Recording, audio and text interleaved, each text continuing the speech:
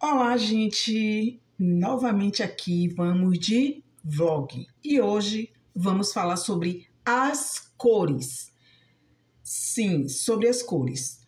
Como é que nós vamos fazer se nós não, não tivermos a cor que a gente gostaria de comprar no armarinho ou no site? Gente, é muito simples.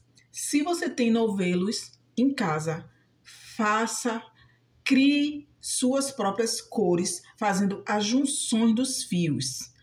Vou mostrar aqui para vocês como eu já fiz diversas vezes e tem várias peças minhas aqui que não tem numeração de armarinho, nem na tabela de cores de nenhuma marca por quê? Porque eu fiz junções de cores. Então, isso é uma coisa que você também pode fazer para estar tá dando um diferencial, um diferencial nas suas peças e fazê-las com que elas fiquem cada vez mais únicas e exclusivas, ok? Vou estar mostrando um exemplo para vocês na prática. Aqui, gente, está uma peça aonde eu fiz um mesclado.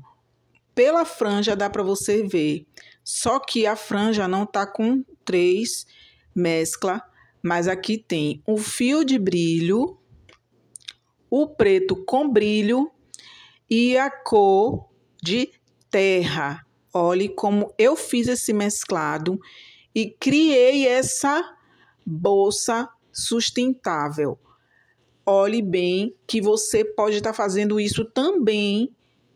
Olha como fica diferente. Você não vai achar essa tonalidade de fio em nenhum lugar. Por quê? Porque eu criei fazendo as junções das cores, ok? Essa bag tem vídeo aula dela completinha lá no canal.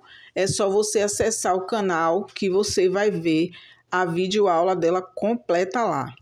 Outra bag que eu vou estar tá trazendo uma demonstração para vocês é essa aqui, ó, que é bag de garrafinha. Também eu fiz as junções dos fios. Não tem essa tonalidade de site nem de armarinho nenhum. Fiz as junções dos fios e criei uma cor única. Então você pode estar tá fazendo isso também com fios da mesma tonalidade, que vai dar um diferencial nas peças, ok? Então é isso.